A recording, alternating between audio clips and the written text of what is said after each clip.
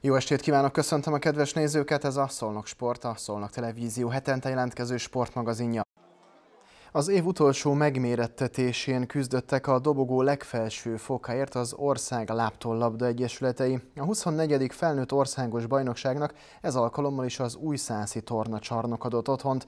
A rangos versenyen az is eldőlt, hogy kik 2019 legjobb hazai láptollabdázói.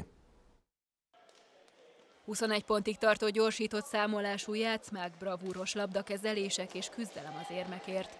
Így nézett ki a 24. országos felnőtt láptólabda bajnokság. A versenyre 85 nevezés érkezett az ország különböző pontjairól. A házigazda Újszásznak Nagy Kanizsa, Cserszeg Tomoly, Pusztaszer, Tápió Bicske és Borda játékosaival kellett szembenézniük a hétvégén. A többiek nagyon ügyesek voltak, mi most rosszabbul teljesítettük szerintem, mint ahogy szoktunk. Jó lett volna egy dobogót elérni, erről pont lecsúsztunk, de majd legközelebb.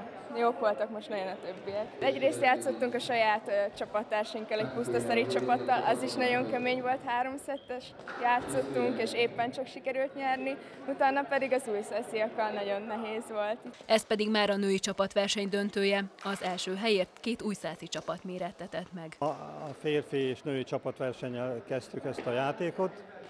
A lányok éppen itt mellettünk a döntőt játszák. Két újszászi csapat játszik a döntőbe.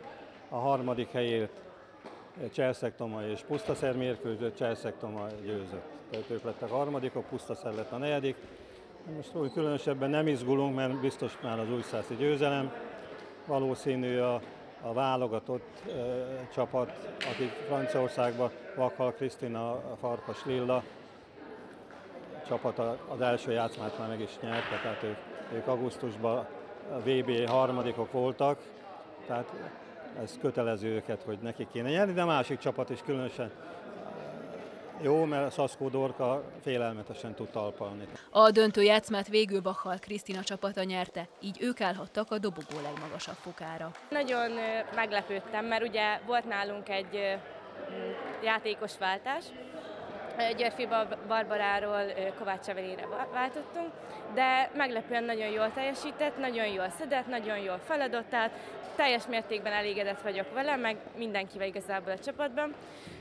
Eléggé nehézkesen indult a reggelem, mert még egy kicsit beteg vagyok. Csütörtök, csütörtök óta nagyon lábra állni sem bírtam, de úgy gondolom, hogy teljesítettük, amit bírtunk, és nagyon jó zártuk ezt a versenyt. Az év igen sűrű volt a játékosok számára, akik nem csak hazai, hanem nemzetközi terepen is kiváló formájukat hozták. A franciaországi világbajnokságról egy bronzérmet sikerült hazahozni. A VB-n a magyar válogatottban Újszász és Nagykanizsai valamint a cselszek férfiak és újszászi és cselszektomai lányok játszottak. Jó szerepelt a magyar válogatott a nemzetek pontversenyében negyedik helyezést értünk el. A legeredményesebb a női csapat volt, benne három újszászival, Vakkal Krisztinával, Farkas Lillával és Becskereki Barbarával. Ők Hongkongot verték a harmadik helyért játszott mérkőzésen. Őszinte leszek, nagyon örülök, hogy vége az évnek, mert tényleg borzasztóan hosszú volt, és nagyon sok versenyünk volt. A VB-re én szívesen visszamennék még megint, mert nagyon jó volt, tényleg annyi élményt szereztem ott, mind játékban, mind pedig ugye az emberek által.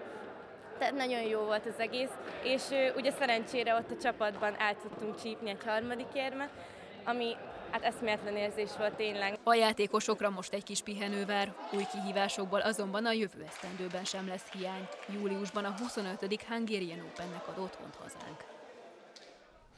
Míg a nőknek sikerült, addig a férfiak miatt nem lehetett önfelett az ünneplés hazai oldalon, hiszen öt év után a csapat elveszítette a bajnoki címet. Az első helyen Nagy Kanizsa váltotta az újszánsziakat. Az idei év legsikeresebb játékosai címek azonban maradtak Újszánszon, ugyanis a nőknél Vakhal Krisztina, míg a férfiaknál Herceg Gábor teljesített idén a legjobban.